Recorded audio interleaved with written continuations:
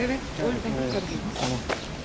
Edirne'de Sultan 1. Murat döneminde inşa edilen ve Yeniçerilerin burada yıkanmaları nedeniyle Yeniçeriler Hamamı ismini alan tarihi hamam kaderine terk edilmiş durumda.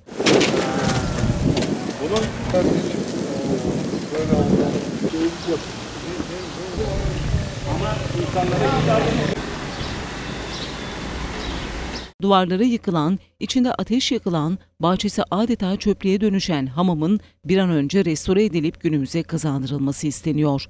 Belki ne zaman olur belli değil. Belki Evet, oradan çıkabiliriz. Bunun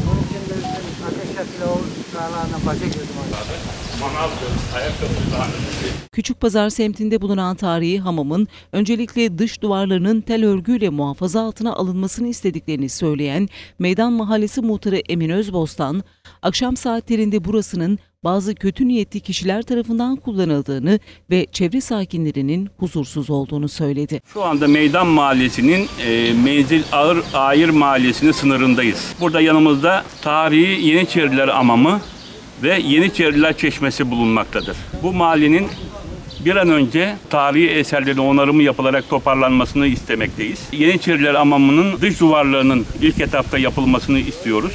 Burasının bir de tel ile çevrilip muhafaza altına alınmasını istiyoruz.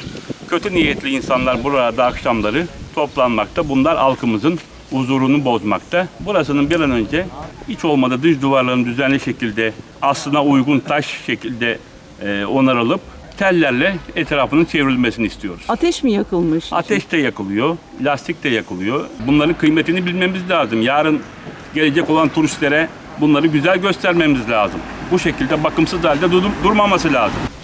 かけていの